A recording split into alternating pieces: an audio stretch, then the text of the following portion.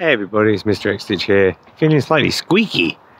Girls have all got colds and bless them, they're sharing them with me, so that's good. We're uh, one week away from exchanging, no, completing on our new house.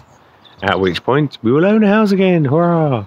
Not there's anything wrong with renting, but uh, and that's interesting. And so, you know, we're chipping away at the packing, and it's funny, you get this tipping point where you start to take the things off the walls, and you suddenly realize that a house is just a house, but it's your things that make it a home. And I know that's a dumb thing to say, but it never, it like always strikes me when we do that. Like we put all the stuff in, and our house is a bit chaos and all those sorts of things, and you get used to it, but it's just funny how you can depersonalize a home and suddenly the home starts to become a stranger for you.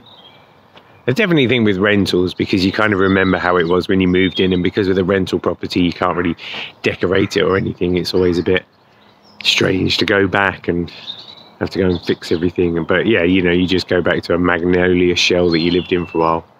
And we're very grateful. I mean, we'll have lived in that house for 13 months, the whole of lockdown.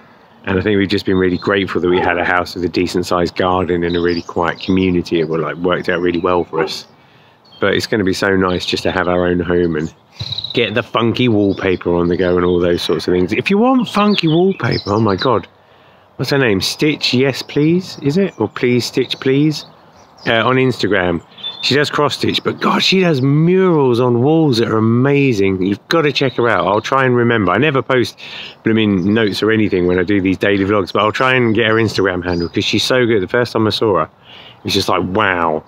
The walls that she's done, probably a bit too dark for my tastes. Like I wouldn't do them myself, but they're so cool. They're so bold, and I'm just like, shit. I wish I could do that sort of stuff. So, uh, anyway, just thought I'd drop by, do a vlog while I can, uh, before it all goes probably crazy around here. Yeah. Anyway, hope you guys are keeping well. Feel free to let me know what you're up to in the comments. I'll speak to you soon.